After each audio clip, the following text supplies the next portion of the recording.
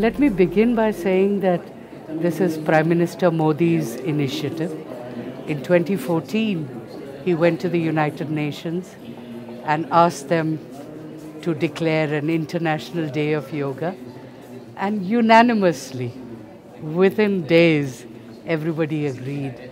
And I think that shows how everybody understands the need for yoga. And then three years ago, uh, Jacqueline Pelliard, Christina Girardi, and of course, Senora Carvajal, they approached us. They had this idea that we should celebrate in the Chamber of Deputies that politicians need yoga. And that's how it started.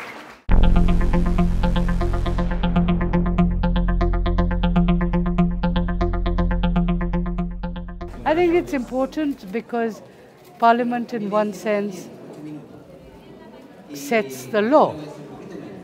And for them to be seen as supporting yoga sends a message. It's an important institution, one of the most important institutions in Chile. And for them to support us is amazing.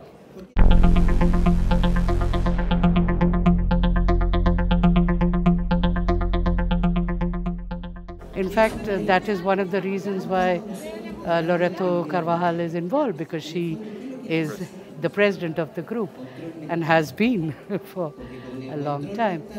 And for us, it's important because, uh, as she mentioned, uh, they had visited India last year, yeah, 2018. And uh, it's interactions like that which help progress the relationship.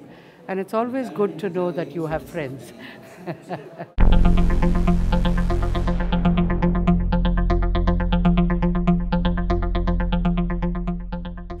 Yoga significa unión del alma humana con el alma suprema.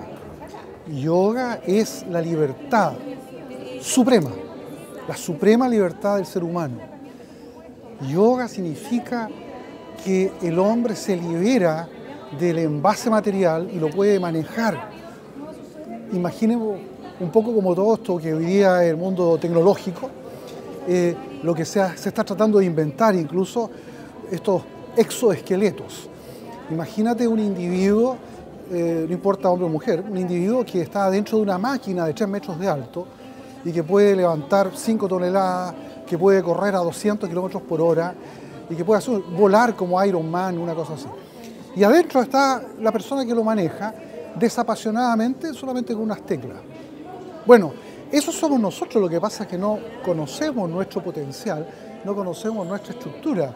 La estructura que recibimos al nacer es una estructura de un mamífero superior y el que la dirige es la conciencia, pero esa conciencia habitualmente está externalizada, está involucrada en las diferentes capas estructurales, cuerpo físico, sistema nervioso, cerebro, mente, que es la parte más fina, pero que es un estorbo, y finalmente, muy profundamente, el alma, el yo. El alma es el yo.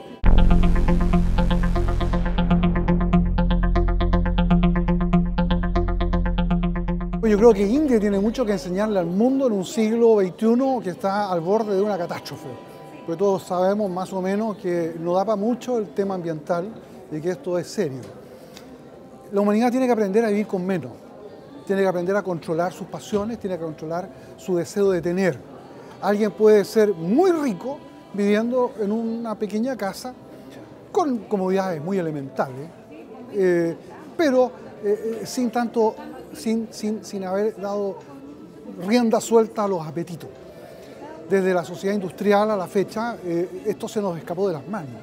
Si todos quisieran tener el nivel de vida que tiene un norteamericano de nivel medio, necesitamos como 10 planetas para destruir. Y eso es imposible, tenemos este nomás. O quizás se logre colonizar otro, pero falta mucho tiempo. Hay que aprender a moderar, a morigerar y a controlar los apetitos. Eso lo decía Buda. La mejor manera de no sufrir es no desear. Porque cuando tú deseas algo que no puedes tener, sufres. Eso se logra en el nirvana, dice Buda. Eso se logra cuando la gente se desacopla, igual que un auto desacopla el motor del sistema, lo embraga, tú te desacoplas de toda la estructura circundante incluso. India viene haciendo eso hace 10.000 años. Y evidentemente India ni es el mejor ejemplo, porque ha tenido muchos problemas y lo sigue teniendo, pero lo ha intentado. Y, siendo uno de los lugares más habitados del mundo, eh, ahí está. Y está bastante bien.